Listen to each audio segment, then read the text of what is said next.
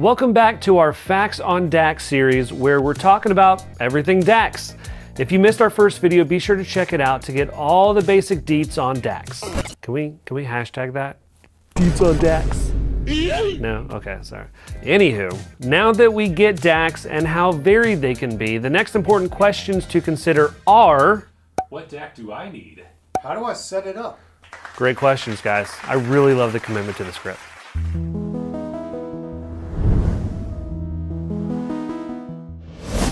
The first thing you'll need to consider that we'll talk about is your source. What are you planning to play music from is also going to be a big factor in what type of DAC you're going to need and how much you could, or rather should, spend. Part 1 Source Device. So, what's your source? A computer, phone, tablet? Are you looking for a standalone DAC with streaming capability? There are a ton of options here, so let's take a look at some. If you're planning on using your phone, then you have the option of playing music locally that's stored on your device or streaming apps. There are a ton of streaming services out there and more and more options for high resolution music. You'll get the most from your phone by connecting a dongle DAC or a USB-C DAC via USB-C or Lightning, whatever connection your phone has. Dongle DACs are simple, pretty much just plug and play and you're good to go. The phone should automatically detect the DAC when you plug it in and set it as the main audio output. The same goes for tablet or even a laptop. What if you want to set up a DAC with your computer?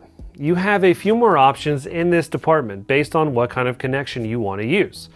Since most will interface via USB-C, you can use a dongle DAC if you want something small, a USB DAC if you want more features, or a desktop DAC for the full Monty.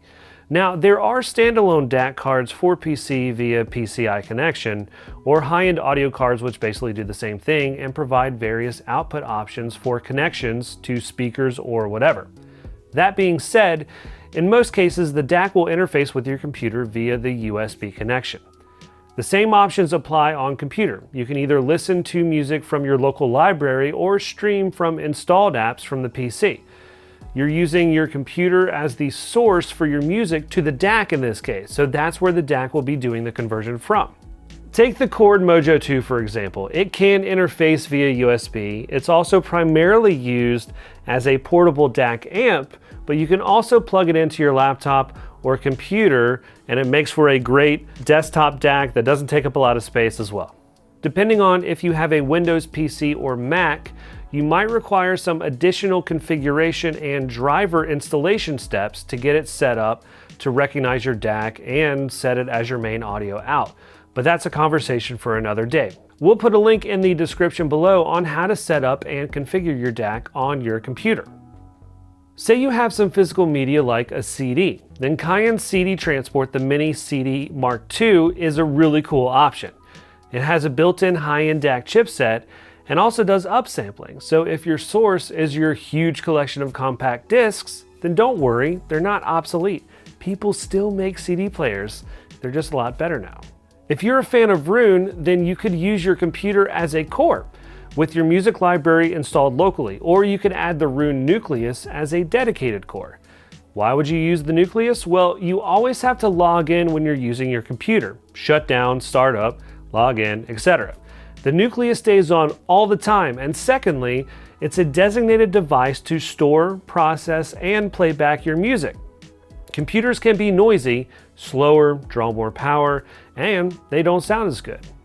Using Roon and Roon ready devices can be a little more involved with setup, so let us know in the comments if you want to learn more about Roon and what it can do for your music.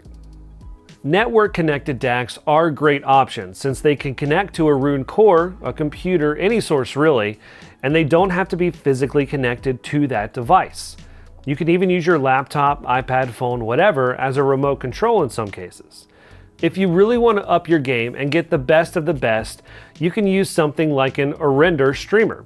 Aurender makes some of the best all-in-one units that do everything high-end DACs, streamers, amplifier, and they even have their own proprietary software for streaming music, cataloging, and playback. You really get some high-end functionality and features when you go down the network DAC rabbit hole, but beware, they can also get pretty pricey. Now, when it comes to connections and how to set up your DAC, I'll just say a quick note here about the connection hierarchy. There are some common DAC connection ports and the order in which you should use them for the best audio quality, starting at the best and going down. I squared S, AES, XLR, SPDIF, either RCA or Toslink, and finally USB. Again, this is the order which we'd recommend prioritizing the connection options if you're looking for the absolute best sound quality out of your system. I won't get into specifics here, but know that DACs will come in various I.O. configurations, so just something to keep in mind. How does the DAC fit into your signal chain? Like, where does it go or how do you plug it in? It might sound like an easy question, but for those who don't know, you don't know. And it's pretty important to figure out so you do it right. Typically, it looks like this. You have your source, which is where your music is located. You need something to then convert the data to an analog signal so that you can hear it. This is where the DAC comes in. Next, you'll need an amplifier to amplify that signal to an audible level. And then finally, your output device, either a speaker or headphones. When it comes to plug and play devices like the dongle DAC and say a phone, you just plug in the DAC via the USB type connection to your charging port of your phone and it should automatically recognize and assign it as the audio output. Most dongle DACs can do an average of 2 VRMS, so the amplifier section is covered here, and all that's left is the connection to your headphones. USB DACs work in pretty much the same way, where you connect them to the source, they already have a built-in amplification, and all you need to do is connect your speakers or headphones.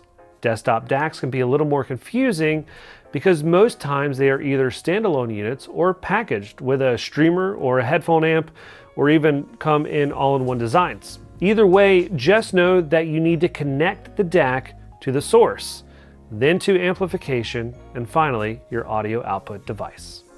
The next thing we think you should consider is your listening style, ergonomics, or how you listen to music in your daily life.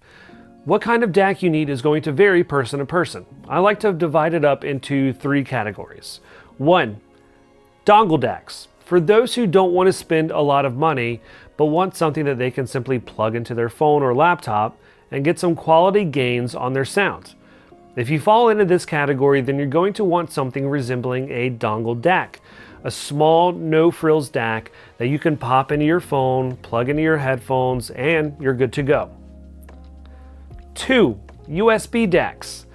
The next person might want to spend a decent amount of money on a DAC with more features, more power, and the ability to use it on the go, or even as a small desktop DAC if space is a consideration.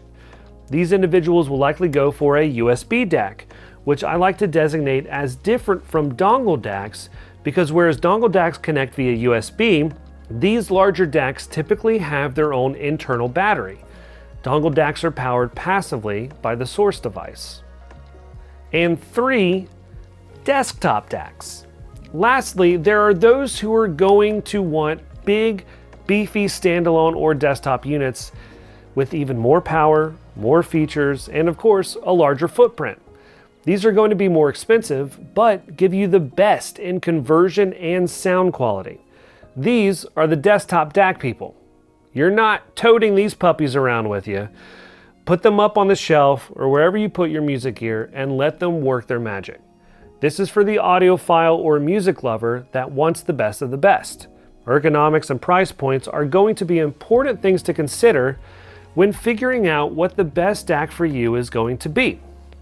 Now that's a lot of information, but just know that there are options and a multitude of ways to configure your DAC with whatever music listening setup you have.